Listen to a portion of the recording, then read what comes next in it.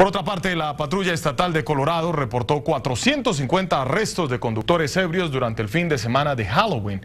El operativo se llevó a cabo entre el 28 de octubre al 1 de noviembre. La ciudad de Denver registró el mayor número de arrestos con 58.